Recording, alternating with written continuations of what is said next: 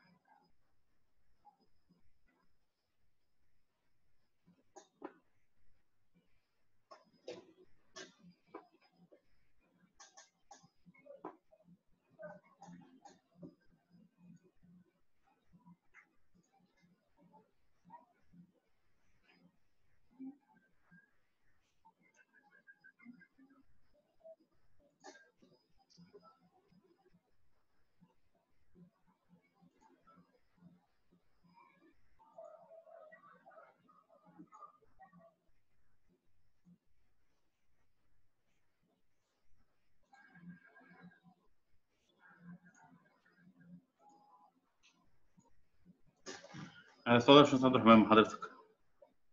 تمام. هو إحنا كده live مع الناس ولا؟ أيوه live حضرتك اتفضل. okay إزيكم شباب؟ إيه الأخبار؟ آه خليني هبقى متابع الشات لو في أي حد عايز يكتب حاجة آه نكتبها في الشات آه في البداية بس آه أحب أعرف آه ناس ممكن في ناس ما تكونش عارفاني. أنا المهندس عبد الرحمن أبو جازي آه مهندس معماري ومصمم داخلي.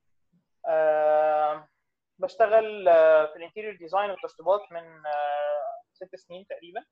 آه عندي مكتب تشطيبات صغير اسمه A and S وشركة آه آه آه وشركة تدريب آه لمهندسين عمارة بالذات آه اسمها 3 Engineers الفكرة كلها إن إحنا طالعين دلوقتي في ال live دوت عشان نتكلم على فكرة إزاي إن إحنا آه نشتغل تسويق. أنا بس عايز indication من الناس إنها سامعيني أو أنا أو من ال من ال host إن إحنا إحنا تمام سم- الناس سامعيني ولا؟ تمام سامعين حضرتك. تمام okay. طيب آه الصوت واضح؟ تمام تمام سامعيني؟ تمام okay. آه طيب نبدأ على طول في ال lecture ولا هنستنى شوية إن الناس تخش؟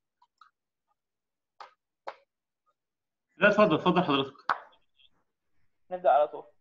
طيب آه لما نيجي نتكلم على التسويق آه أنا ليه اخترت الموضوع ده في البداية الأول؟ اخترت الموضوع ده إن ده موضوع مهم جدا جدا ولازم يطرح في الفترة الجاية بالنسبة للناس سواء آه طلبة هندسة أو خريجي هندسة.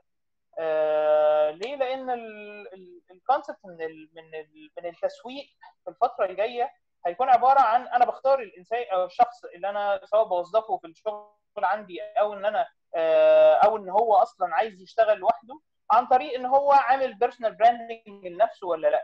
إيه، هل هو عامل marketing كويس لنفسه؟ هل هو ظاهر؟ هل هو آه، شغله بيعبر عنه ولا لأ؟ فعشان كده إن إحنا ابتدينا نتكلم على ال topic دوت واخترت ال topic ده بالذات.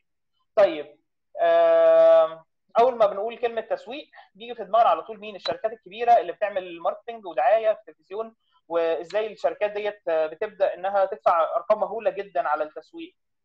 لكن من وجهة نظري ال- ال- التسويق الشخصي هو أهم جدا من كل الكلام دوت ال personal branding إنك تبدأ تعمل تسويق شخصي لنفسك وتبدأ إن أنت آه، تشوف إيه هي المتطلبات اللي السوق عايزها وتبدأ إن أنت تبين ال skills ديت إنها موجودة عندك علشان تقدر سواء إن أنت ت get jobs أنت بتقدم في شغلانة في شركة فالشغلانة في الشغلانة دي إن أنت تكسبها بسرعة أو إن أنت آه، يجي لك أصلا freelance أو شغل freelance ليك.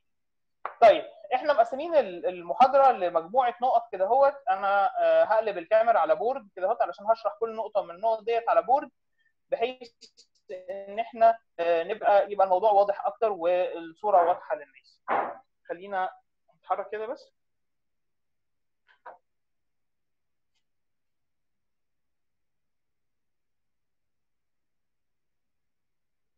أوكي.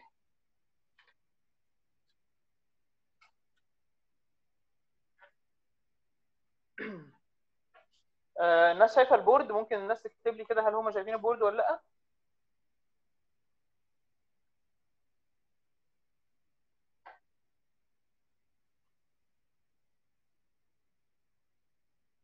ممكن تقرب شوية. okay تهيألي كده هتبقى متشافة. بعيدة. تمام شايفين؟ okay.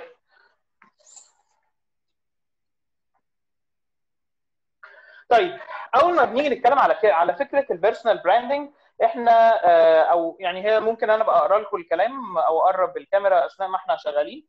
آه، أما باجي أتكلم على فكرة إن في في ضوء عاكس على السبورة. طيب خلاص okay. أنا هجيب الكلام اللي على السبوره واحدة واحدة وهلخصه. اول حاجة محتاجين إن إحنا نتكلم عليها اللي هي فكرة ال personal brand يعني لو دي ال board اهي. فإحنا أول point موجود عندنا personal branding ال personal branding لما بنيجي نتكلم عليها فإحنا عايزين نتكلم على تاريخ ال personal branding التاريخ بتاع ال personal branding بدأ من إمتى؟ بدأ من آه، من زمان جدا. يعني لو أنتوا لو لو إحنا جينا نتكلم مثلا في عهد الرسول صلى الله عليه وسلم آه، كان ال personal branding أو معروف عن الرسول نفسه أو كان معروف عن الرسول معروف عن الرسول صلى الله عليه وسلم إن هو الصادق الأمين. صح؟ ليه الصادق الأمين؟ هل هو راح قال للناس والله يا جماعة أنا صادق وأمين فخلاص okay تعالوا تعاملوا معايا لأن أنا صادق وأمين. لا هو الفكرة كلها إن الرسول صلى الله عليه وسلم وراهم بفعله إن هو صادق وأمين. فعشان كده ابتدت الناس تثق فيه أكتر وابتدت الناس تبقى بتتعامل معاه بال concept إن هو الصادق الأمين. فحتى اللي كانوا بيع... بي... الكفار اللي كانوا ما بيحبوهوش كانوا لما بيكونوا حابين يشيلوا أمانة معينة فكانوا بيروحوا للرسول صلى الله عليه وسلم ويشيلوها عنده. علشان علشان إيه؟ علشان خاطر المعروف عنه كذا. فهو ده ال personal branding أنت معروف عنك إيه؟ أنت في مجالك معروف عنك إيه؟ هل أنت معروف عنك إن أنت آه، شاطر جدا. أنا هتلاقوا معظم ال examples اللي ممكن بقولها عن معماريين لأن أنا أكتر عمارة. فهتلاقي الحاجات اللي أنا بتكلم عليها أكتر على معماريين. فأنا مثلا هكلمك شوية على personal brand أنت آه، زها حديد. زها حديد دي مهندسة مشهورة جدا. إيه؟ هي كان ال personal branding بتاعها إنها بتوريك شغلها. طلعت فكر جديد من ال design أو أو مش جديد يعني هو الفكر ده موجود من زمان جدا بس هي إنها توريك شغل مشهور عنها ومعروف عنها ال organic shapes وال parametric shapes والحاجات اللي شبه كده. فأنت في شغلك معروف عنك إيه؟ هو ده ال personal branding بتاعك. لازم ال personal branding بتاعك دوت بقى إن أنت تظهره وتعر... وت- وتعرضه للناس كلها بحيث إن الناس تبقى عارفة عنك كل الناس اللي تعرفك تبقى عارفة إن أنت آه، مهندس معماري مثلا أو إن أنت مهندس مدني أو إن أنت مهندس ميكانيكا. الفكرة كلها أنت هنا هتتعرف إزاي؟ هتتعرف بشغلك وبال shares اللي أنت بتعملها وبال content والمحتوى اللي أنت بتقدمه. مهم جدا جدا فكرة المحتوى اللي أنت بتقدمه. يعني أنا ممكن ممكن ساعات بخش على profiles ناس معماريين آه، على الفيسبوك مثلا أو على الإنستجرام أو على اي ايا كان ال- platform اللي بيشتغلوا عليه بلاقي مشكلة كده صغيرة إن هو ال profile بتاعه كله لا يعبر تماما على إن هو مهندس معماري أو إن هو آه، بيشتغل في المجال ده أصلا ليه؟ لأن ال shares وال like والحاجات اللي هو عامل لها like وال shares اللي هو مshareها والحاجات ما لهاش علاقة تماما بالموضوع دوت. مهم جدا إنك أنت لما يكون لما تكون عايز تعمل personal branding لنفسك إن أنت تشتغل على النقطة دي إن أنت تشتغل إن كل حاجة بتنزلها على ال profile بتاعك تبقى دارس الحاجة اللي انت بتنزلها على ال profile بتاعك. الحاجة ديت تبقى فيها حاجة تعبر عنك انت كشخص وتعبر عن انك انت بتقول والله أنا مهندس معماري علشان كده أنا عندي experience في الحتة دي. حصل مثلا موقف معين أو أو situation في حتة معينة انت آه، آه، بت- بتقوم كاتب post مثلا بتعلم الناس في ال post دوت تجربة التجربة اللي انت بتعلمها للناس ديت بتدل على ان هم ان انت فاهم في المجال اللي انت بتشتغل عليه اللي هو بتشتغل عليه في ال personal branding فال personal branding من الحاجات المهمة جدا جدا ان انت تبدأ تشتغل عليها. طيب فكرة بقى ال content creation انت لما بتيجي تشتغل على آه، في مجال معين لازم تبدأ تقرأ في المجال دوت كتير جدا. وتبدأ كل ما تقرأ حاجة تحاول إن أنت تاخد منها بعض المقتطفات اللي بتعبر عن المجال بتاعك أو بتعبر عن الشغل اللي أنت بتعرف تشتغله واللي بتتقنه وتبدأ إن أنت تنزلها دايما على صفحتك بصورة مستمرة علشان تقدر إن أنت تروج لنفسك إن إنك وتتعرف إن أنت في المجال دوت. شغلك برضه أي حاجة بتعملها في شغلك يعني إحنا مثلا في ال- في العمارة عندنا شغل renders وعندنا شغل شغل لوحات شغل حاجات كتير shop drawing مثلا انت لو انت بتشتغل حاجة من الحاجات ديت الحاجات ديت من أكتر الحاجات المعبرة أو اللي هتعبر عن شغلك. إزاي؟ أنا عندي render طلعت صورة رندرتها الصورة اللي رندرتها ديت لازم أشيرها عندي على الصفحة. لازم لازم أي حد عنده renders يبقى عنده Behance ويبدأ إن هو يشير ال Behance دوت بحيث إن هو ينتشر بصورة أكبر بحيث إن ال renders بتاعته تنتشر بصورة أكبر. لو انت لو انت مثلا في مجال ال training فانت محتاج انك تنزل tutorials بصورة كبيرة علشان ال tutorials دي تنتشر وتبدأ ان انت تخلق content فال content دوت يعبر عنك انت وانت شغال أو أو يعبر عن مجالك اللي انت شغال بيه فالناس تبقى عارفة.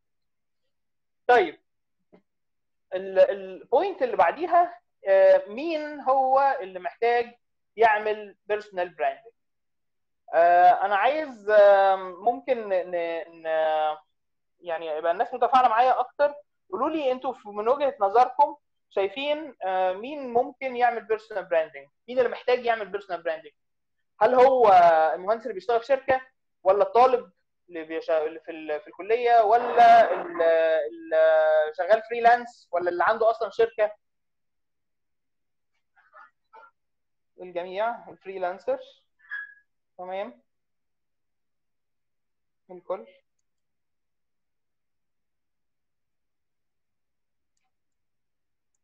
كلهم محتاجين. طيب تعالوا نقسمهم واحدة واحدة. الترويج بيبدأ من مرحلة الطالب حتى الإيه؟ التخرج. okay.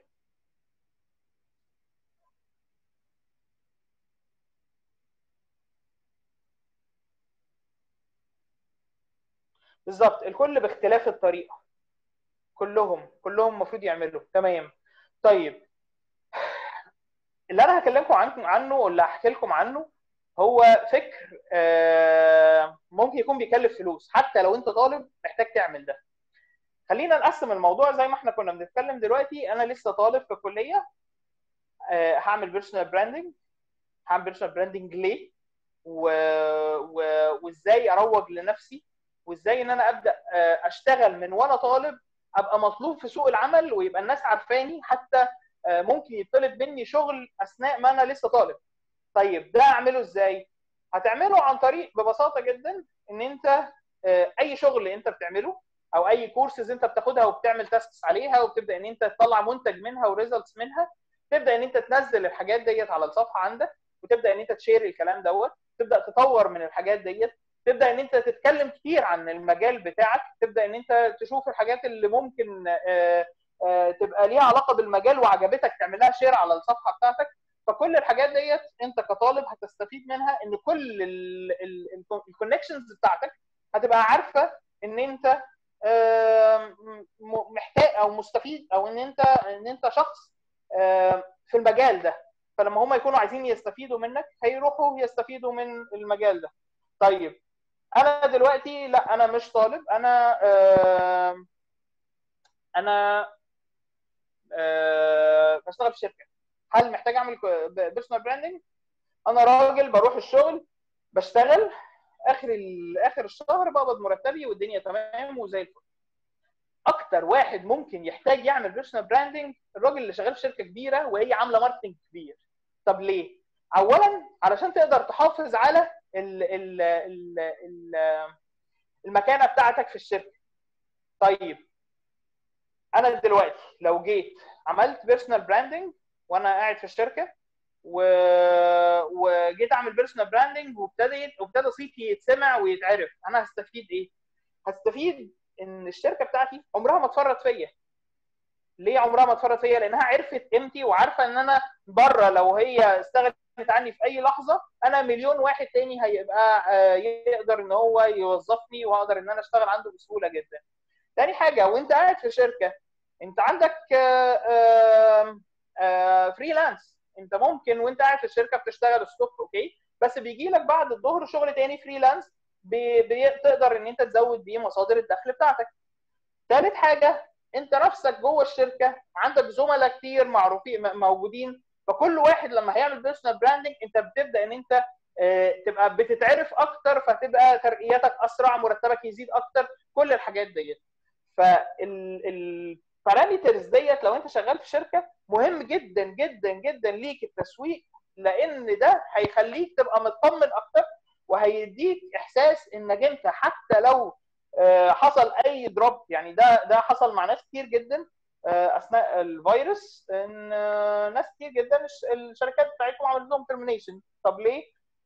والله إحنا عندنا الطاقة الاستيعابية ما تستحملش دلوقتي للموضوع ده طيب أنا لو أنا عامل personal branding ومعروف ومشهور ومعروف في المجال والناس كلها عارفاني أنا هروح أقدم في أي شركة وبسهوله جدا هتقبل. أو لو حتى مش هقدم في أي شركة هبقى بشتغل على مجال ال freelancing ومجال ال freelancing دوت أنا عامل عليه كذا فيديو على اليوتيوب channel بتاعتي. آه، لو دخلتوا كتبتوا على اليوتيوب عبد الرحمن جازي هتلاقوا ال freelance ده. إحنا نقدر إن إحنا أو تقدروا إن إنتوا تشتغلوا على مواقع الشغل الحر بسهولة جدا لما تعملوا personal branding ومن أحد العوامل أو أحد الحاجات اللي موجودة لل personal branding إن إنت تعمل personal branding على المواقع دي نفسها.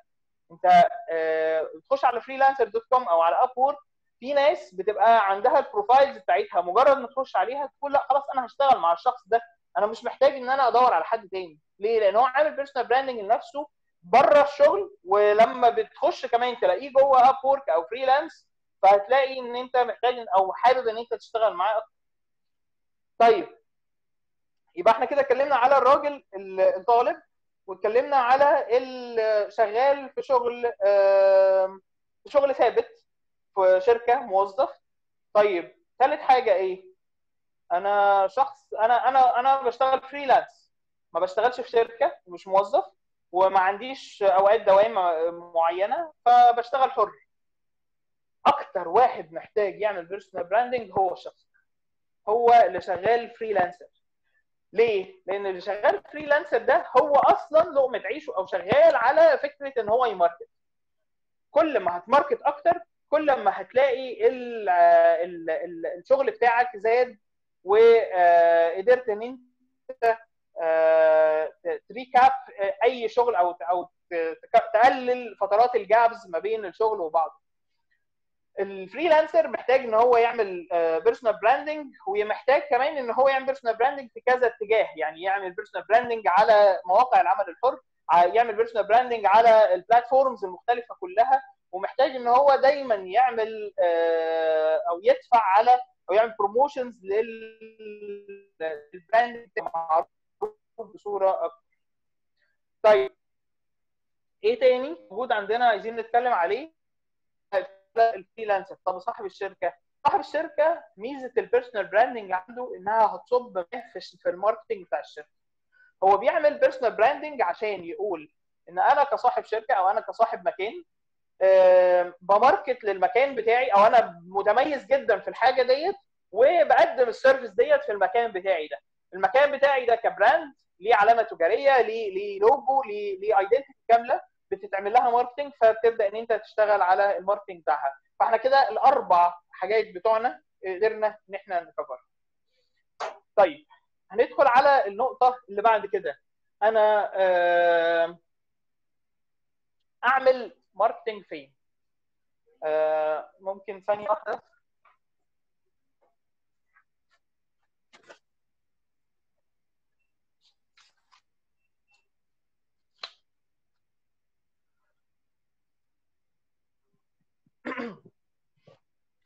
طيب آه، أعمل marketing فين ده نقطة مهمة جدا. platforms كتير جدا. platforms اللي ممكن تعمل عليها marketing أو إن أنت تعمل عليها personal branding كتير.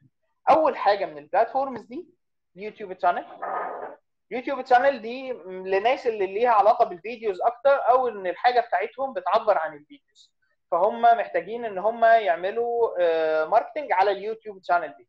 تاني حاجة محتاج إن أنت تعمل عليها personal branding إن أنت تعمل personal branding على platform من ال platforms اللي هقولها ورا بعض. فيسبوك انستجرام سناب شات تيك توك تيك توك تاني؟ فيسبوك فيسبوك ده آه، في أماكن معينة وفي بلاد معينة الفيسبوك هو أهم موجود في مصر.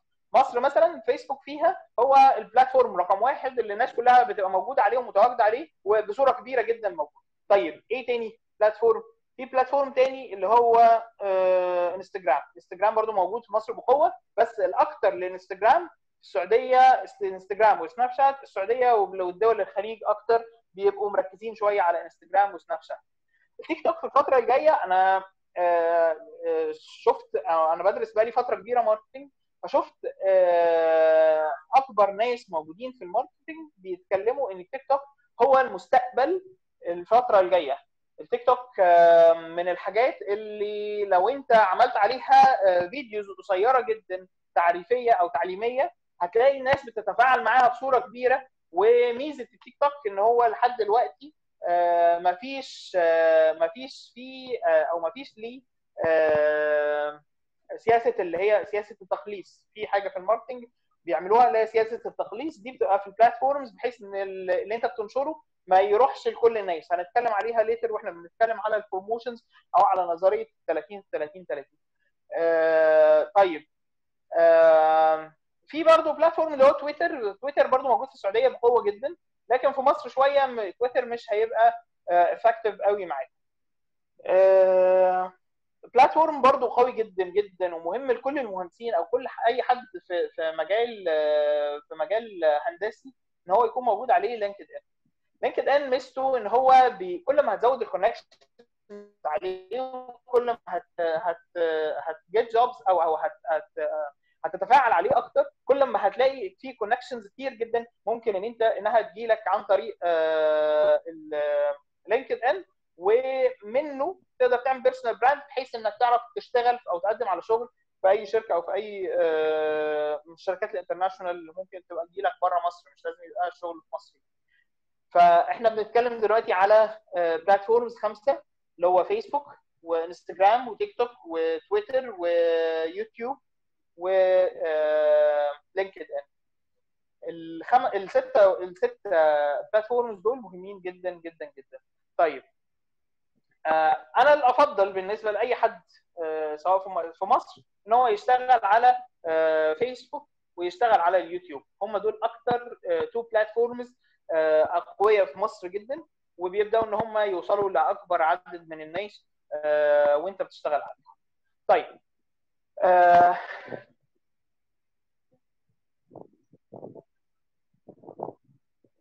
إزاي إن أنا بقى أعمل advertising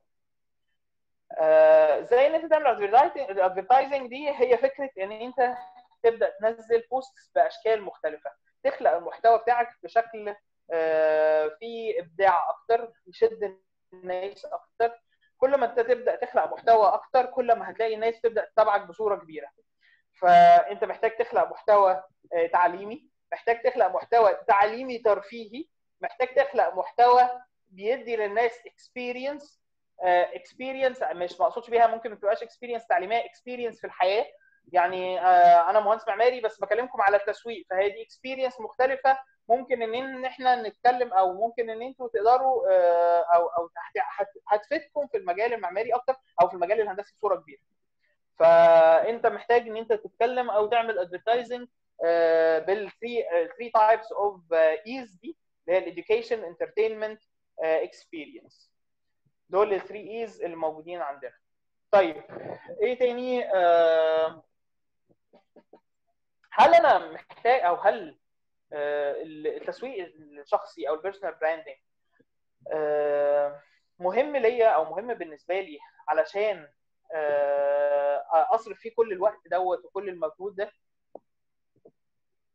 حد يقول لي هو أهمية التسويق؟ يعني بالنسبة لي هل هو مهم قوي للدرجة دي ولا أنا ممكن أبقى شغال في شركة عادي ومش محتاج إن أنا أعمل تسويق لنفسي وخلاص وب- وبترقى في الشركة؟ وبدل ما أذاكر تسويق أو إن أنا أتعلم تسويق أو إن أنا أعمل تسويق لنفسي لا أنا خلاص أذاكر حاجة تانية تفيدني في مجالي أكتر أو تنمي مهاراتي أكتر. لو جينا نعمل نسبة ما بين ال- التسويق طبعا أهم حاجة. أوكي. ليه التسويق أهم حاجة؟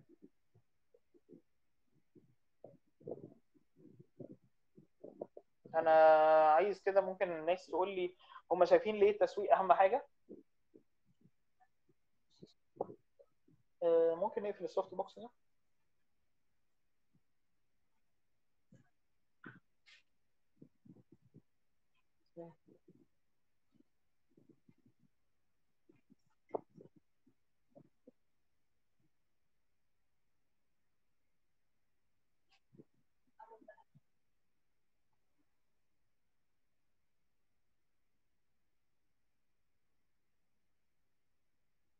ممكن في أي لحظة الشركة تقفل التسويق آه، مهم لأنه معرض انك تسيب الشركة لازم يكون عندك قاعدة قوية. بالظبط كده. هو بيعرف الناس بيكم في شغلك. هو اللي هيصنع اسمي قدام. يعمل لي شبكة علاقات. تمام؟ أوكي. تكسب ثقة الناس واسمك يكون متكرر فالناس تبقى عارفاك أكتر. طيب في قاعدة. العلاقات هي سر النجاح. بالظبط كده. في قاعدة بتقول إن إن لو أنا عندي أنا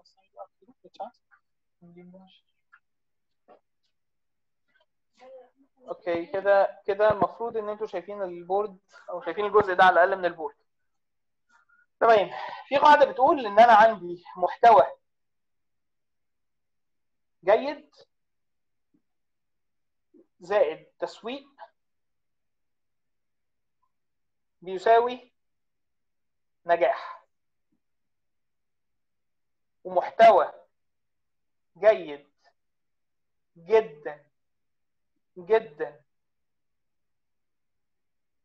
بدون تسويق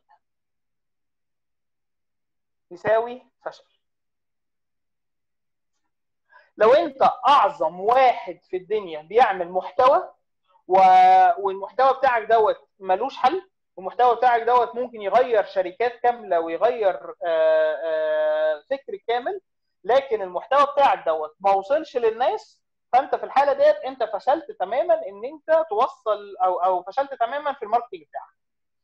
أهم حاجة لما تيجي تخلق أو تصنع محتوى إنك المحتوى بتاعك يوصل للناس. طيب في حاجة كده هو بالنسبة بقى لل... لل... لل marketing أو ال digital mark... ال marketing على ال social media آه... في حاجة مهمة جدا في حاجة اسمها ال reach الوصول هتلاقوا ساعات كتير جدا بيبقى موجود لو حد عنده page يقول لك إن ال post ده reach أو وصل لكام واحد. ال post المعين نزل وصل لكام واحد في كام واحد شاف ال post ده. المعدل بتاع الوصول دوت كل ما يزيد كل ما أنت بتبدأ تنتشر بصورة أكتر.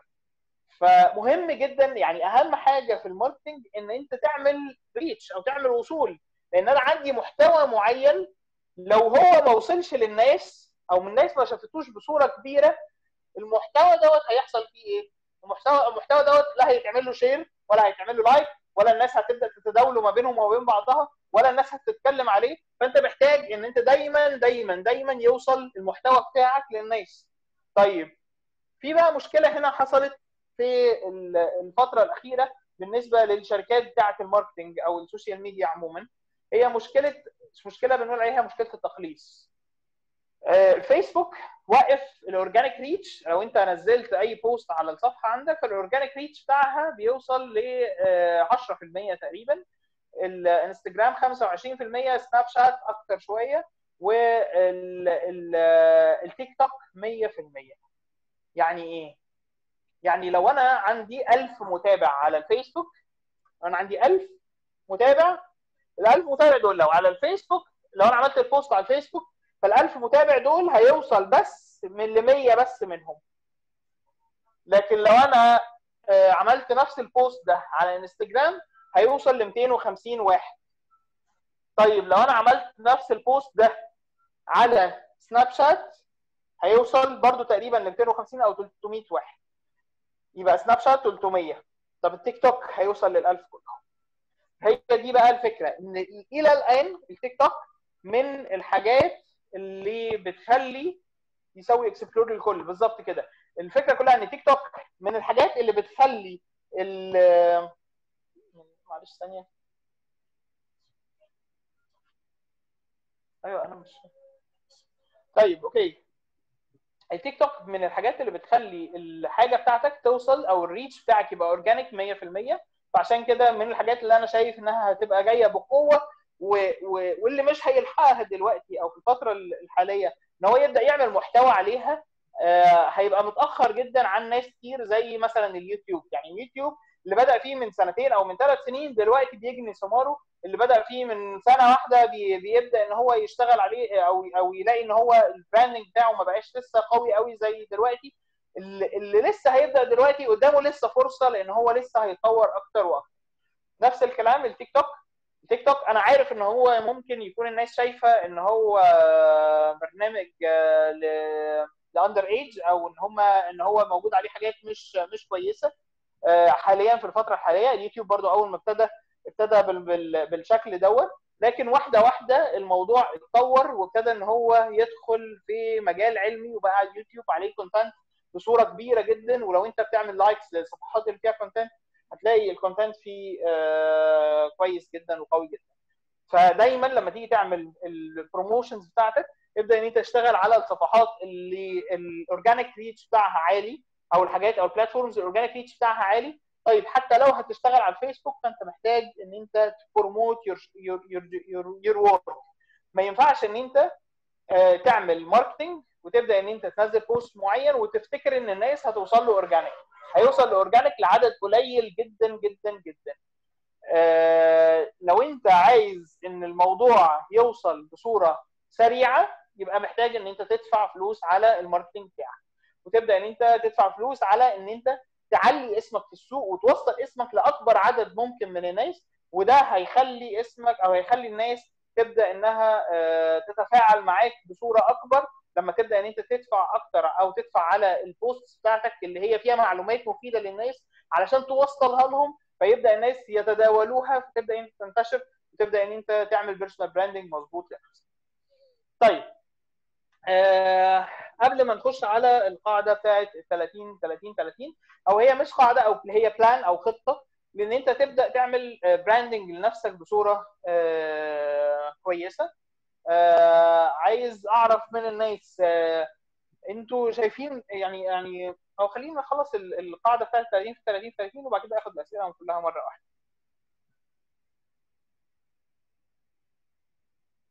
تيك توك ماشي لل business آه تيك توك ماشي لل business.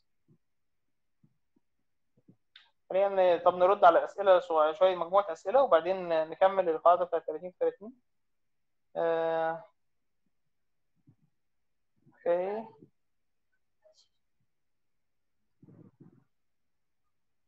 تيك توك هيبقى عليه target اللي أنا عايز عايزها تعرف تعمل إعلانات برضو على تيك توك زي أي إعلانات ماشي يا business حضرتك بتحب تتفرج على محتوى فاضي أكتر من العلمي أو المفيد زي ما بنشوف. لا انت لو على التيك توك وابتديت إن انت تشتغل أو أو تعمل like للصفحات اللي فيها محتوى هادف هتلاقي ال explore أو اللي بيجي عندك أكتر هو الحاجات اللي فيها حاجات هادفة. فزي زي أي platform في الدنيا هو بيشغل بال AI بالذكاء الاصطناعي. هو بيشوف انت إيه الحاجات اللي أفضل بالنسبة لك وبيبدأ إن هو يجيبها لك بصورة أكتر. وكل ما انت بتعمل أو أو بتشترك أكتر في الصفحات الهادفة هتلاقي ان هو بيجي لك الحاجات الهادفة لينكد ان وضعه إيه؟ ما أنا اتكلمت على اللينكد ان وقلت لينكد ان من الحاجات القوية جدا بس لينكد ان مشكلته شوية في ال promotions بتاعته انها غالية قوي علشان تقدر توصل لناس واللينكد ان يمكن أكتر لو انت هتعمل عليه marketing فانت بتكون عايز توصل ل مش مش personal branding قوي قد ما انت بتبقى عايز تبين في وسط في وسط فئة معينة لكن الفيسبوك بيعمل personal branding ليك لكل الناس مش لفئة معينة أنت عايز توصل لها.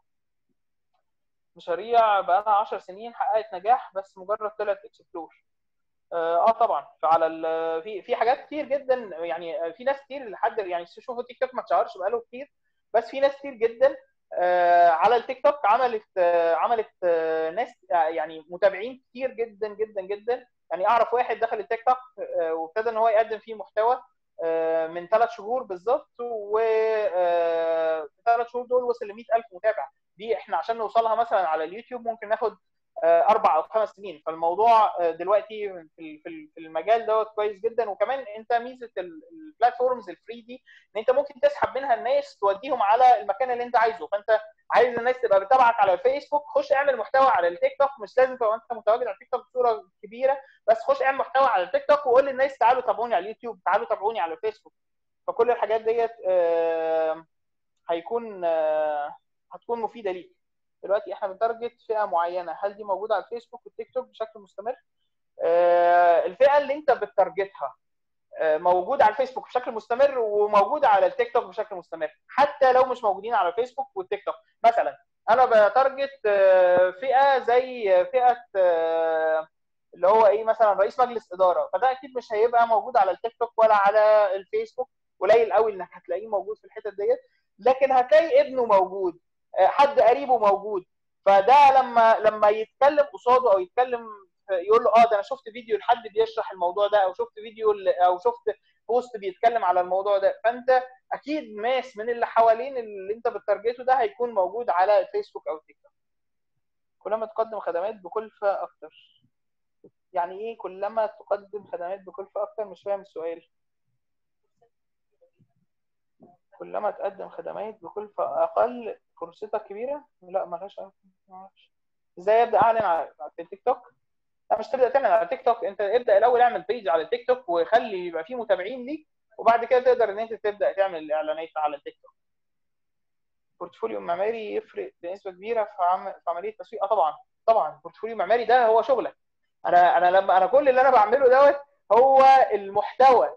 أنا بكلمك إن أنت تصنع محتوى. أنت ال portfolio المعماري ده هو المحتوى بتاعك هو شغلك. أنت لما لما أنا لما بقول صناعة محتوى فأنا بتكلم إنك أنت كمعماري أي renders بتعملها ده محتوى. أي لوحة بترسمها ده محتوى. أنت ممكن إن أنت تنزل كل الكلام ده وتبدأ إن أنت تعرضه عشان تتعرف. قصدي حساب إعلاني. كل ما تقدم خدمات بكلفه أقل محمود مصطفى. مش هو. إزاي أبدأ أعمل أعلن على التيك توك. آه حساب إعلاني على التيك توك. طيب ده خش على ال... على اليوتيوب هتلاقي في ناس كتير بتشرح الموضوع ده يعني إحنا أنا مش ع- مش عارف أشرح دلوقتي إزاي أعمل حساب إعلاني على الفيسبوك هل ال portfolio مقتصر فقط على مهندسين عمارة؟ أه لا هو ال portfolio مش مقتصر فقط على على مهندسين عمارة. بص أنا أعرف ناس مهندسين كهرباء مثلا مش مش بيبقى portfolio أكتر. آه، آه، هو مثلا وهو شغال بي بي في حاجة معينة أو آه، بي بيشتغل في لوحة أو في حاجة بيبدأ إن هو يصور اللي هو بيشتغله ده فيديو ويسرع الفيديو حتى وينزله. بس مجرد إن هو بيبين إن هو بيشتغل في المجال دوت أو بيبين الحاجة دي. فمش مقتصر خالص على مهندسين عمارة لا أنت ممكن تعمل portfolio لو أنت في أي مجال. آه، يسمح بإن أنت تعمل صور. لو مش بيسمح إن أنت تعمل صور حاول إن أنت تطلع videos. لو مش بيطلع videos فأنت حاول إن أنت تعمل content كتابة. لو مش بيط... مش مش لاقي content كتابة حاول إن أنت تعمل content صور. وهكذا. طالب أبتدي شغل على ال portfolio إزاي؟ لأن ما عنديش أي خبرة ممكن وممكن يكون في أخطاء. اتفرج على portfolios كتير لناس. خش على Behance هتلاقي في كمية portfolios موجودة مهولة. خش على ال groups بتاعت اللي فيها ال connections بتاعت المجال بتاعك. أنا مش عارف أنت عمارة ولا إيه ما مش قايل. بس آه، هتلاقي في groups للمجال بتاعك. آه، ال groups بتاعت المجال بتاعك ديت هتخليك تعرف إن أنت آه، توصل للناس اللي منزلين ال portfolios بتاعتهم تخش تتفرج على ال portfolios بتتعمل إزاي. فتبدأ إن أنت تاخد أفكار ل portfolios كتير جدا. طيب تخصص معماري ده أنت أكتر أكتر مجال آه، تقدر إن أنت تلاقي portfolios فيه. طيب نكمل النقطة الثانية بتاعت ال- ال- المحاضرة بتاعتنا. وهي نظرية أو ال plan 30 30 30 نظرية 30 30 30 إيه النظرية ديت؟ النظرية ديت ببساطة جدا هي نظرية بتقول لك إزاي توصل لعدد أكبر من المتابعين في خلال شهر. الفكرة كلها إنك هتوصل ل 3000 متابع خلال شهر لما تمشي بالنظرية دي. النظرية ديت قايلها آه، آه، سهل مهدي ده حد من الناس اللي معروفين جدا في الماركتنج آه، النظرية دي بتقول إن أنا خلال لو أنا عايز أوصل لأكبر عدد متابعين في الشهر أو أوصل هو بالظبط هو قايل 3000 متابع أنا خلال 30 يوم بعمل promotion بدفع على الإعلانات على ال على ال content بتاعي 30 جنيه كل يوم. فأنا كده هوصل إن أنا بدفع 30 في 30 يبقى كده بدفع كام؟ 900 جنيه في الشهر. بدفع ال 900 جنيه دول في إيه؟ هي فيها 33 عندي آه عندي 30 بوست 30 محتوى. في 30 يوم ب 30 جنيه. بكل أو أو يعني هو يعني ال- الفكرة كلها إن أنا كل يوم بدفع 30 جنيه على محتوى أو كل يوم بنزل محتوى وأدفع عليه 30 جنيه عشان يقدر إن هو يوصل لناس بصورة أكبر. ففي الحالة ديت هيحصل إيه؟ هيحصل إن المتابعين بتوعك هيزيدوا 3000 متابع كل شهر. فأنت لما يزيد متابعينك 3000 متابع كل شهر هتلاقي الموضوع عندك وما تستهينوش خالص برقم 3000 متابع ده. 3000 متابع دوت مع الوقت هتلاقي إن هم بيبدأوا ينشروا ينشروك لأصدقائهم ولمعارفهم ويعملوا shares للحاجات بتاعتك. فأنت في الحالة دي بتبدأ إنك تعمل personal branding لنفسك بصورة كبيرة أو بتتعرف عند عدد أكبر من الناس المهتمين بال بال بالنيش النيتش بتاعك أو المجال بتاعك.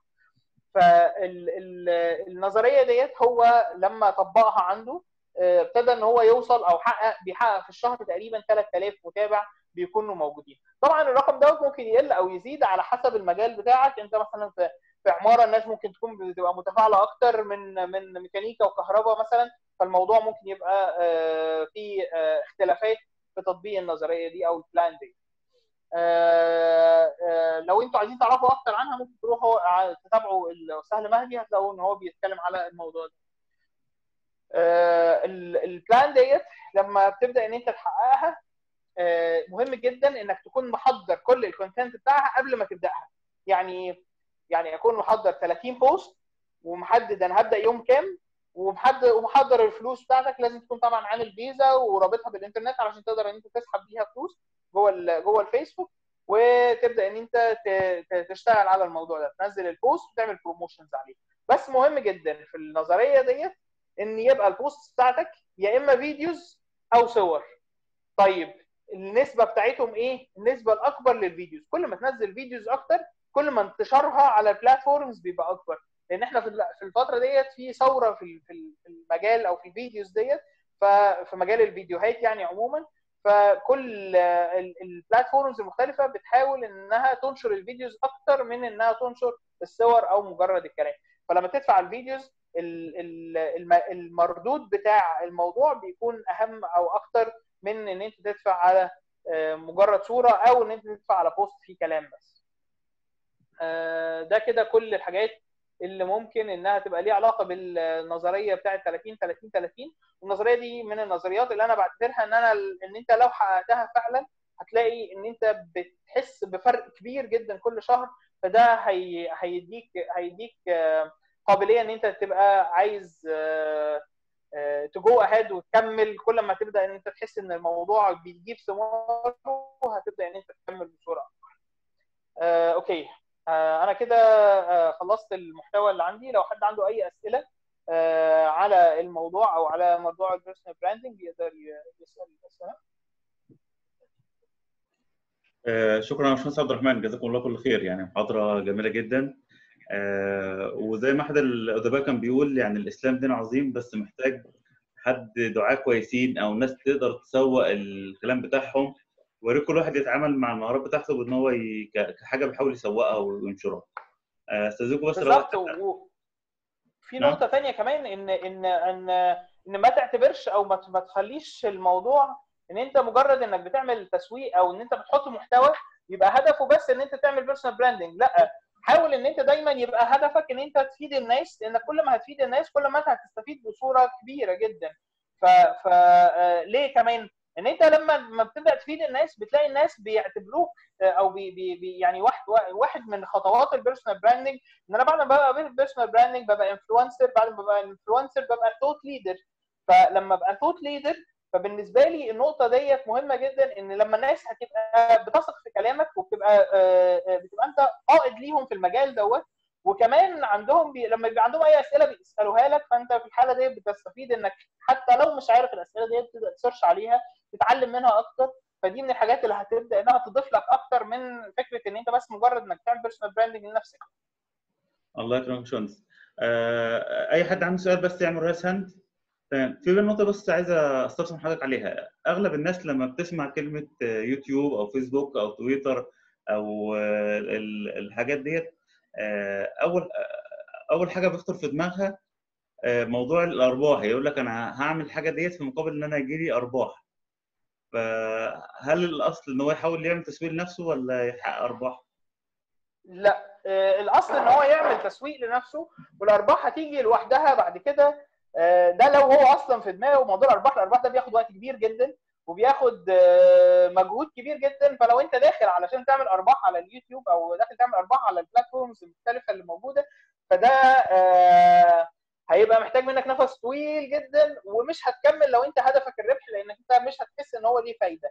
لأنك ال- المهم في الموضوع إن أنت تعمل content وتعمل personal branding وهتلاقي الأرباح بتجيلك بطريقة مختلفة. هتجيلك من ناس معارف بيطلبوا منك الخدمة أو الحاجة اللي أنت بتقدمها أو بيطلبوا منك شغل معين. فهي دي الأرباح الحقيقية اللي أنت ممكن تقدمها آه، من التسويق.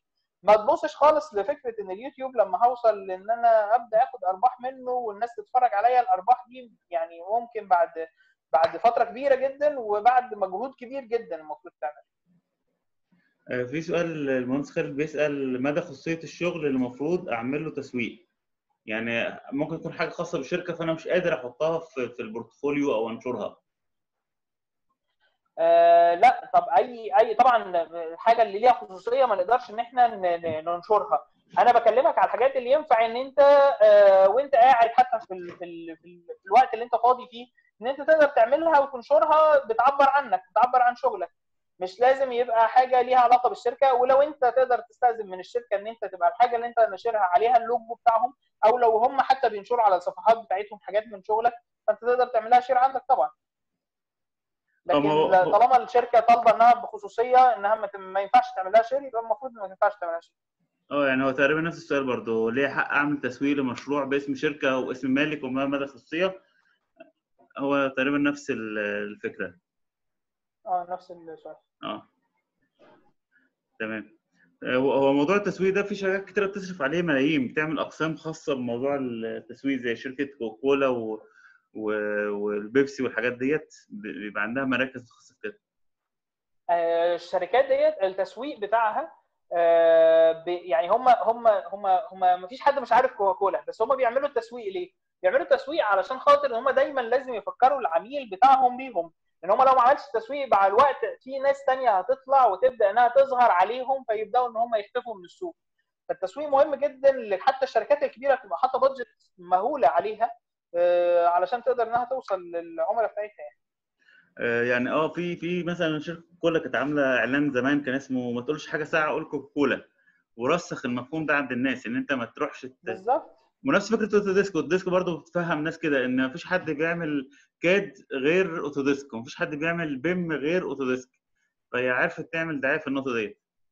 بالظبط. هي الشركات الكبيرة دايما بتحاول إنها تعمل الدعاية بتاعتها إنها تحصر المنتج اللي هم اللي هم بي بي بيعملوه أو أو تحط ترسخ كده هو حاجة في في دماغ العميل إن هو أول ما يفكر في الحاجة بتاعتهم يبدأ على طول يروح لهم. زي مثلا خد break خد لك آه، خد آه، آه، خد break خد break، آه. أو كيت كات. فأي حد عارف إن لما آه والله أنا لما أجي آخد break آه ده ممكن يجي في دماغي على طول مين كيت كات. فهي دي دي بتبقى slogans كده بتبقى محطوطة. الهدف من ال slogans ديت إنها ترسخ عند العميل الحاجة آه، إن هو الحاجة للمنتج بتاعه. آه، في سؤال المهندس أمير بيقول يا ريت حضرتك لو تع- تعرفنا إيه المطلوب في السوق دلوقتي. وايه المنتشر ومطلوب. إيه المطلوب بالنسبة لإيه؟ آه ما لازم تحدد التخصص بتاعك أو ال... كل حاجة ليها حاجة كل حاجة ليها المجال بتاعها. هو هو عمارة. آه، إيه المطلوب في السوق المعماري دلوقتي؟ آه، من بص هو لو أنا هاجي أكلمك على المطلوب في السوق المعماري هو مطلوب مهندس معماري شاطر. يعني يعني إيه شاطر بقى؟ يعني حد فاهم كويس قوي في العمارة نفسها وال والديزاين وال وال والمجال نفسه كنظريات وأفكار وتقسيمات. ولما يجي يبدأ إن هو يشتغل على على على مشاريع مختلفة يعرف إزاي إن هو يعمل search مظبوط عليها ويعرف إزاي إن هو يجيب معلومات و data بحيث إن هو يبدأ أي مشروع ويشتغل في أي مشروع. بالإضافة لكده طبعا يعني علشان في مشكلة عند الناس كلها إنها بتعتبر إن إن البرامج هي الأساس. لا أنا محتاج مهندس معماري شاطر الأول يبقى بيعرف يعمل الحاجات الأساسية بتاعة ال project وبعد كده زيادة عليها إن أنا محتاج ناس بتبقى عارفة بتشتغل بال programs فمن البرامج يعني يمكن من أكثر البرامج الم- المشهورة أو المعروفة آه، في مجال المعماري ال 3D Max والريفت دول أكتر حاجتين لو أنت متقن واحد فيهم بنسبة كبيرة جدا فالسوق هيبقى محتاجك بنسبة كبيرة جدا. طيب واحد مثلا حديث التخرج إزاي يعمل نفسه brand؟ إزاي إن هو أول ما يتخرج كده يبقى الناس عايزة تشده كده من إيديه؟ ده مفهوم غلط. المفهوم ده آه، أنا أنا بشوفه كتير الف- الفترة دي إن هو حد لسه متخرج وعايز يفتح مكتب. يعني ناس كتير جدا بتخش تسألني على الموضوع ده وتقول لي والله يا باشمهندس إحنا متخرجين وأنا وأنا ومجموعة أصحابي عايزين نروح نفتح مكتب ونشتغل في المكتب دوت وخلاص ونعمل صفحة على الفيسبوك ونعمل دعاية عليها ويجي لنا شغل وإيه ون- ونبدأ إن إحنا نشتغل بالموضوع ده. من من من واقع تجربة وخبرة مهم جدا جدا جدا في الفترة الأولانية من حياتك إن أنت تشتغل في مكتب أو تشتغل في شركة تاخد منها اكسبيرينس الشغل كاملة بكل حاجة فيها وتتعلم منها تفاصيل إزاي إن أنت تفهم أو إن أنت إزاي تشتغل كمعماري وإن أنت وإن أنت لازم تبقى عارف إن أنت آه، ما ينفعش تبدأ حر على طول لازم تبدأ الأول تاخد الخبرة ال- الأولية؟ لازم تاخد الخبرة الأولية بتاعة الشغل من الشركات والمكاتب وت- وتتعلم منهم صح وتعرف آه، إزاي تظبط نسبك وعلاقاتك وكل الحاجات ديت هتلاقي المكاتب والشغل بيفيدك فيها أكتر بكتير جدا من إن أنت تكتشفها لوحدك بعد ما تتخرج أو إن أنت تتعلمها من كورسات أو ايا كان. وبرده نفس الكلام لو أنت هتشتغل في التشطيبات أو في الحاجات اللي هي ليها علاقة بال sites فأنت محتاج إنك أنت تنزل الأول مع شركة تبدأ تتعامل وتشتغل معاها كويس وتعرف تاخد experience كويسة الأول من الحاجات ديت انت هتبقى ليك connections وعلاقات في ال- في المكتب وعلاقات من زمايلك وعلاقات من من كذا حتة. وبالإضافة لكده أثناء ما انت شغال في المكتب دوت انت بتبدأ ساعتها تعمل personal branding لنفسك وتبدأ ان انت تشتغل على انك تظهر ال skill اللي موجود عندك. وأنا عايز أنوه برضو لنقطة معينة إن إحنا في الفترة الحالية أو في الفترة الجاية كلها أو في المستقبل كله إحنا آه، آه، هيبقى الناس كلها بتبص للمهارات. انت مهاراتك إيه؟ وايه الحاجات اللي انت كمهارات محتاج ان انت تبقى متقنها كويس قوي؟ والمهارات ديت هي اللي هتبدأ انها ت- ان انت هتعرف تبدأ منها ال personal branding بتاعك.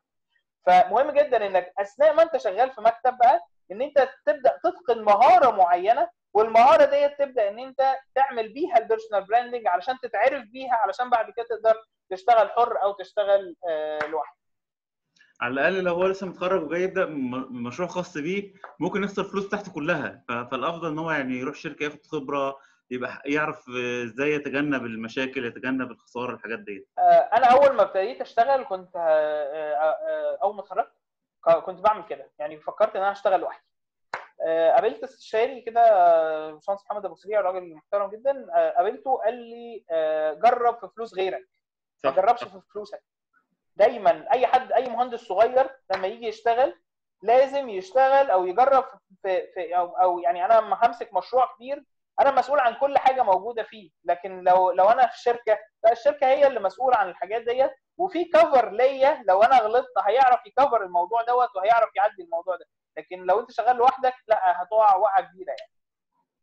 طيب آه، حضرتك كنت عمال تقول الفيسبوك مفيد واللينكد إن والحاجات ديت.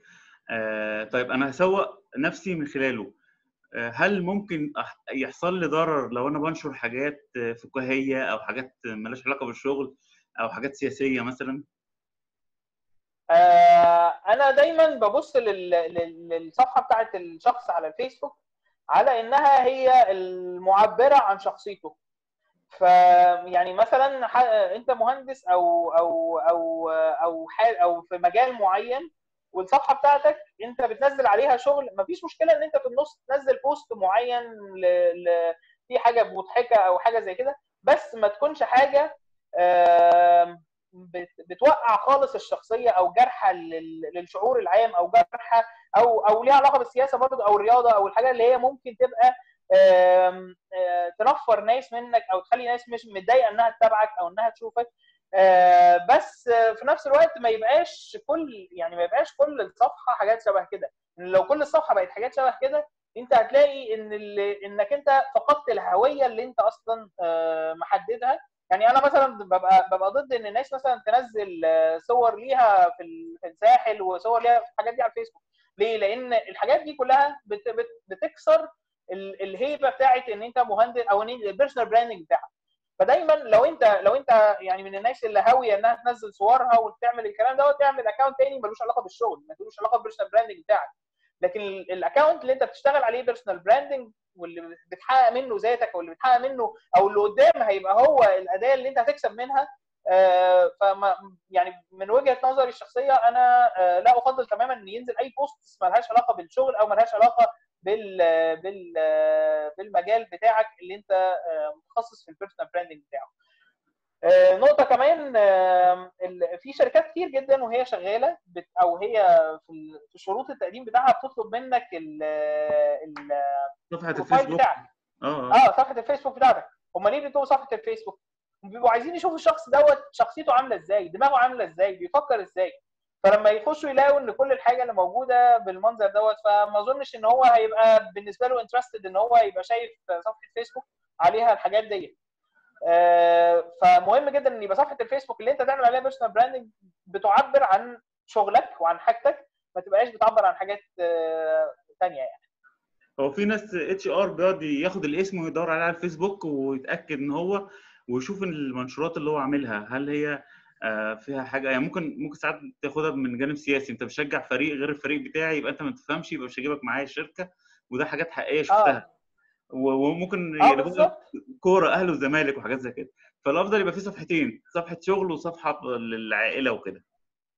بالظبط كده. حضرتك يعني أنا عايز أقول لحضرتك موقف مضحك جدا. في واحد راح يتقدم لواحدة أبوه طلب منه صفحة الفيسبوك يخش يتفرج على يعني هو الفكرة إن هو عايز يقرأ شخصيته فطلب صفحة الفيسبوك بتاعته آه ف... صحيح.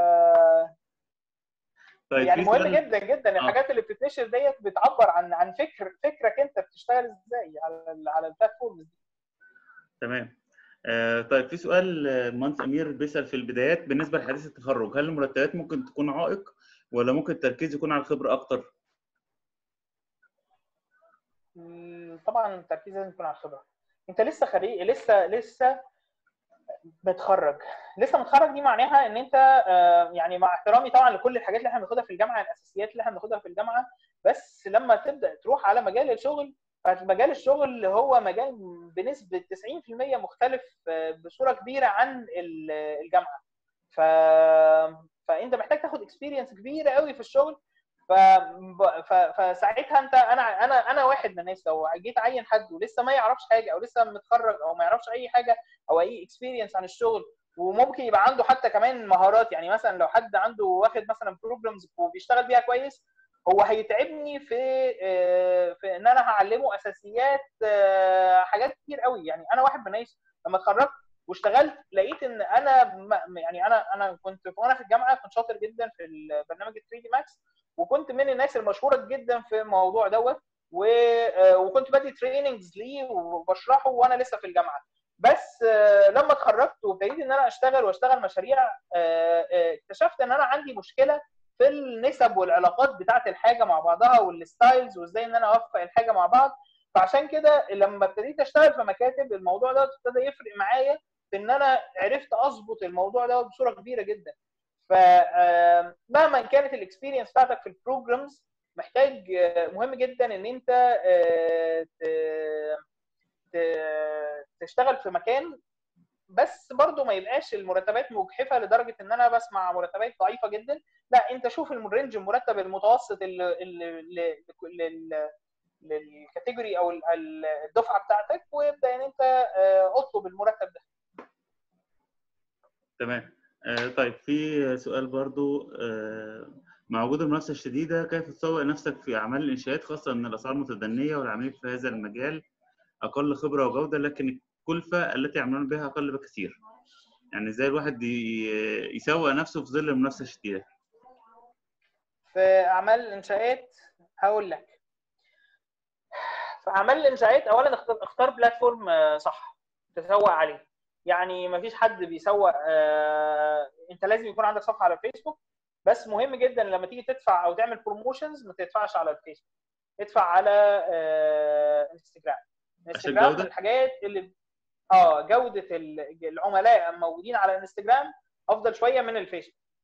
آه، أي حد في المجال الإنشاءات بالذات لما بيبدأ آه، في مجال الإنشاءات تقصد إنشاءات هندسية تقيلة ولا خفيف ولا تشطيبات؟ لأن برضو ده حاجة وده حاجة. يعني لو انت لو أنا أنا اللي أنا بتكلم عليه اللي هو مجالي اللي هو التشطيبات الانستجرام هو الافضل فيه. الانستجرام هو ال- ال- العملاء اللي موجودين عليه الجودة بتاعتهم هي مش هيبقوا فاضيين إن هم يشطبوا بنفسهم. هو تمام الصوت آه، لا لا تمام صوت شغال. okay. طيب في فعشان كده ده ال platform المهم إن أنت تسوق عليه. وفي مجال الإنشاءات مهم جدا إنك تعمل content محترم. آه، إن أنت لما تيجي تعمل promotions للشغل بتاعك أنت بت promote آه، صور من حاجات أنت شطبتها أو خلصتها already لازم يكون البرزنتيشن بتاعتك بعد ما بعد ما تخلصها تصورها بشكل محترم جدا علشان ت... علشان تبقى شكلها في الآخر يعني إيه يبين جمال الحاجة اللي أنت عاملها. ما يبقاش مجرد إن أنت الصوت يا باشمهندس. الصوت صوت قطع. مفيش- مفيش صوت.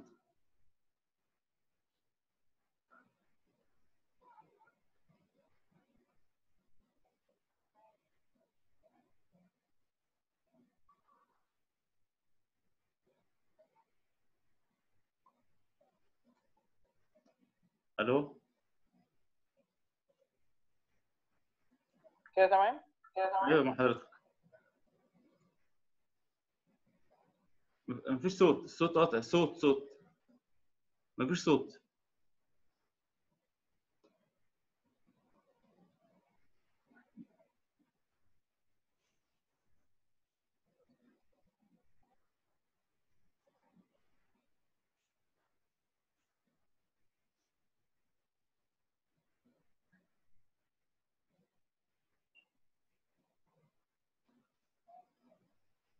مفيش صوت مفيش صوت.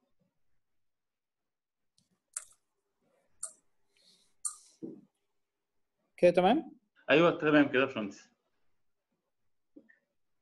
أوكي. طيب آم،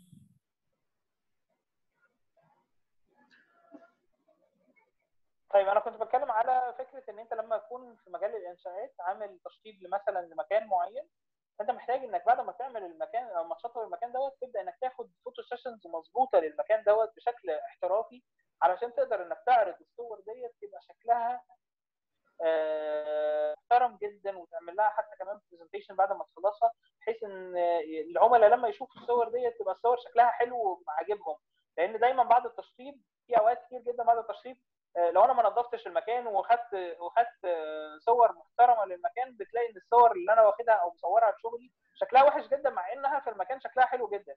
لكن آه، فده نقطة مهمة جدا جدا للناس اللي بتسوق في ال- في الإنشاءات. يعني آه، في ناس بتجيب مصورين محترفين علشان بعد ما هو يخلص الحاجة بتاعته كلها يبدأ إن هو يصور له بس ال- الشغل بتاعه. آه، تمام يا باشمهندس. طيب آه، بعد إذنك في سؤال آه، المهندس أكرم بيسأل آه، لو سمحت يا باشمهندس إزاي أعرف السوق محتاج إيه وأشتغل عليه؟ إزاي اعرف السوق مش محتاج إيه في إيه؟ آه، يعني آه، على سبيل المثال مثلا آه، إيه الحاجة اللي يركز عليها الفترة الجاية؟ السوق محتاج إيه البرامج أو إيه الحاجات اللي هو محتاج ان هو يركز عليها الفترة ديت؟ آه، طيب أنا لو بتكلم على ال programs فأنا عندي مجالات مختلفة. عندي مجال ال visualization دوت ده مجال كبير جدا والناس كتير محتاجة أو أو محتاجين إن إحنا نشتغل على المجال دوت على آه، نقطة إنك أنت آه، بتعمل presentations بأشكال مختلفة. فمن ال presentations ديت هتلاقي مثلا آه، الأهم البرامج اللي 3D Max ده ك modeling وبعدين ال rendering برضو ال V-Ray وال وال والحاجات الجديدة اللي في مجال دوت والحاجات اللي هتبقى في الفترة الجاية آه، قوية جدا وهتكون من المستقبل اللي هيشتغلها لأنها ليها علاقة بال programming شوية ال Unreal Engine ال Unreal Engine من ال engines القوية جدا اللي هي هتبقى ليها باع كبير قوي في السوق الفترة الجاية واللي هيتعلمه في الفترة الحالية هيكون ليه سبق كبير في الفترة الجاية آه، آه طيب آه في آه، مجال تاني أو أو شق شق تاني. أنا لسه ما كملتش بس الإجابة بتاعت السؤال دوت. في شق تاني اللي هو ال- ال- المجال بتاع ال BIM المجال بتاع ال BIM دوت ده من برضه من المجالات الكبيرة جدا اللي هيبقى ليها مستقبل كبير جدا في الفترة الجاية. وده من أهم ال programs اللي أنت لازم لو أنت ك essential ما تعرفهاش تبدأ بيها اللي هي ال Revit ف ولازم يعني أنت لو لما تشتغل أو ما تاخد Revit ما تروحش تاخد كورس Revit essential أو تاخد كورس Revit basics وتقول أنا بشتغل Revit خلاص أعرف أشتغل في أي شركة. لا مهم إنك تتعمق شوية في ال Revit وتفاصيله لأن ال Revit آه، ممكن إن أنت تدرس فيه أكتر من من 50 60 كورس آه، متفصصين لوحدهم كده علشان تقدر إنك تفهم كل التفاصيل بتاعت ال program من جوه وال program ده بيعمل. إيه فالمجال دوت هيبقى برضو من المجالات اللي ليها مستقبل كبير جدا. لو أنت تخصصك آه، آه، هت- هت- هتوجهه ناحية ال BIM مش ناحية ال design وال visualization يعني شوية أكتر ناحية ال shop drawing وال working drawings والحاجات دي.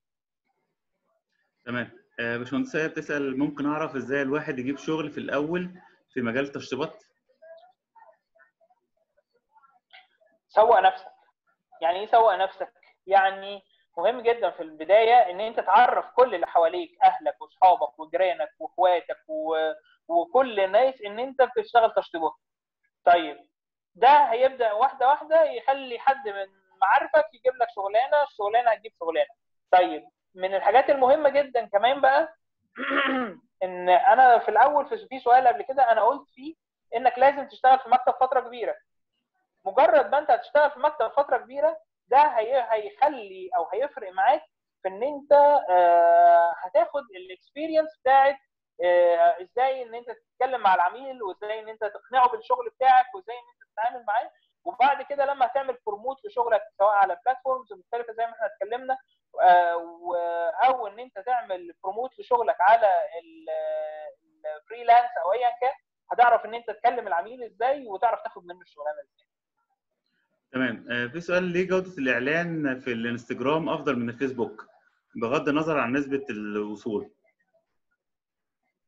ليه آه، الإعلان؟ مش أفضل؟ مش جودة الإعلان. آه، خد بالك إن الإعلان ممكن نسبة وصوله زي ما زي يعني هو بيقول بغض النظر عن الوصول وصوله في الفيسبوك أكتر بكتير. لكن الإنستجرام جودته آه، أعلى ليه؟ لأن جودة الناس اللي بتتعامل شوية أو بتفهم شوية في الانستجرام آه، كماديا أكبر. آه تمام. آه آه، هو على فكرة في آه الإنستجرام آه ناس كتيرة ب- بتحط صور بشكل رائع عليه وبيخصص ما بيتوهش في وسط الحاجات السياسية ممكن؟ يعني بيكون آه، آه. إنستجرام mainly هو platform أصلا كان بدايته صور وبعد كده ابتدى إن هو ينزل ال videos القصيرة وبعد كده ابتدى ينزل دلوقتي ال IGTV فالحاجات ديت كلها هي اللي بتبدأ إنها ت... ت... يعني هو الأساس بتاعه هو ده. تمام. آه، في سؤال المهندسة مروة بتسأل بت- بشتغل في تخصص جديد. وكنت عملت فيه ماجستير نفس التخصص دوت. وما قدرتش أنفذ غير مشروع واحد فإزاي ممكن أسوق لنفسي؟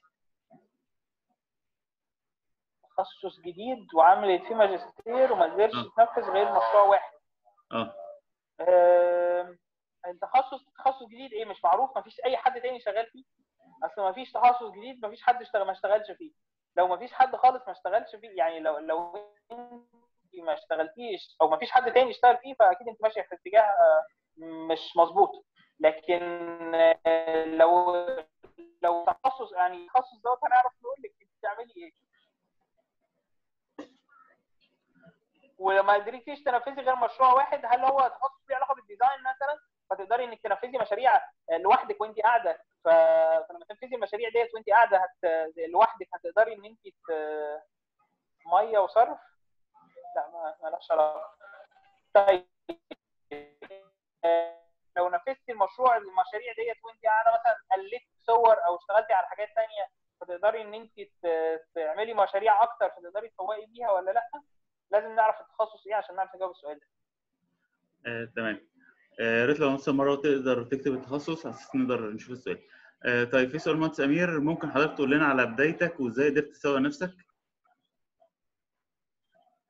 بدايتي آه، يعني يمكن أنا البداية عندي كانت مختلفة شوية عن اللي أنا بتكلم عليه لأن كان آه، أنا أول ما اتخرجت على طول من الشغل أو أو أثناء ما أنا كنت شغال كنت آه، كنت بشتغل أو أو كنت بحب أو حبيت برنامج برامج ال 3 دي أكتر وكنت حابب قوي المجال العمارة.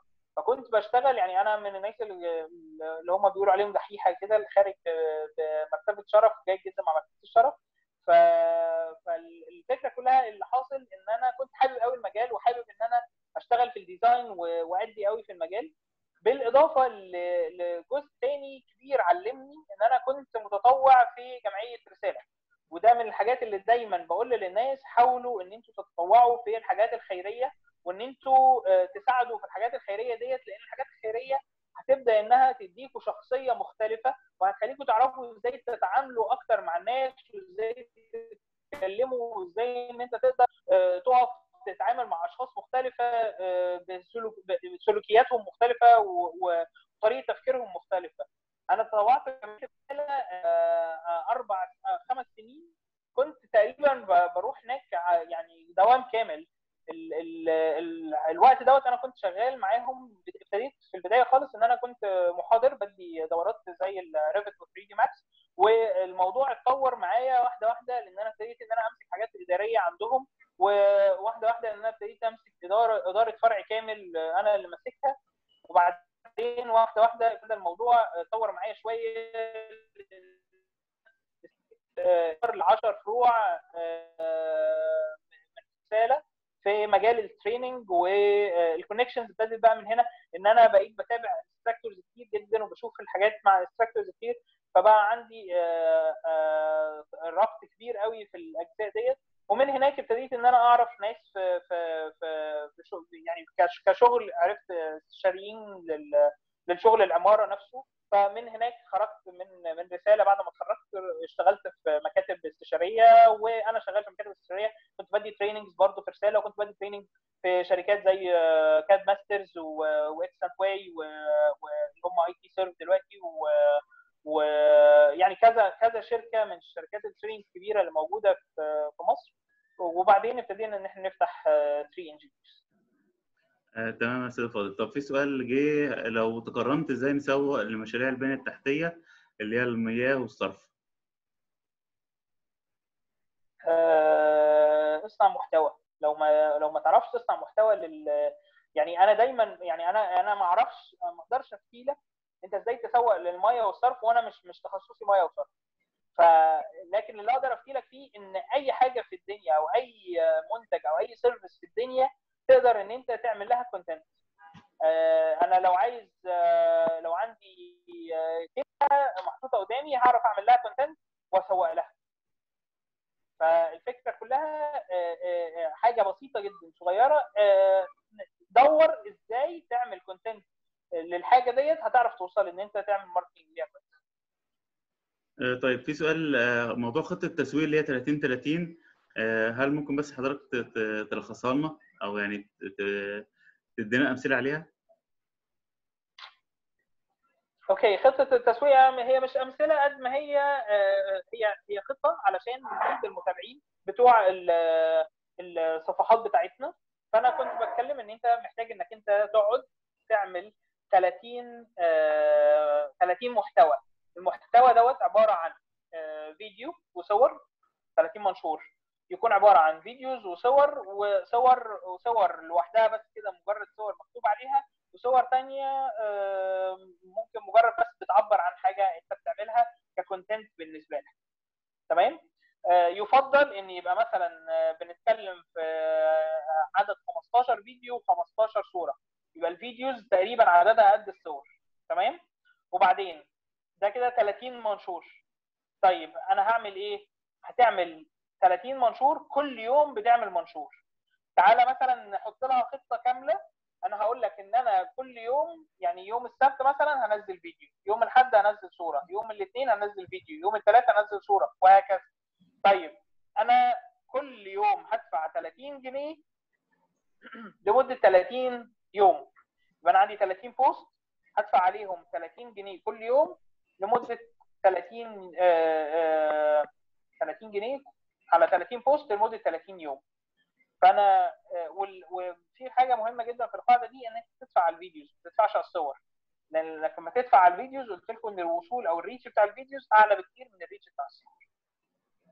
آه، تمام. آه، بالنسبة لل- للسؤال اللي هو كان بتاع المهندس مروة اللي هو بيشتغل في تخصص جديد وكنت عملت فيه ماجستير وما قدرتش أمسك غير مشروع واحد إزاي أسوق نفسي؟ كاتبة بقى التخصص له علاقة بالمدارس outdoor classroom و school building that teach إزاي يكون المبنى التعليمي وتنسيق الموقع والفراغات بتدخل في عملية التعليم environment based learning التخصص بيربط بين المعماري والتعليم. معماري متخصص في مجال التعليم وطرق ووسائل التعليم. Educative architect. هي إزاي ممكن تسوق علاقة بال آه اتفضل.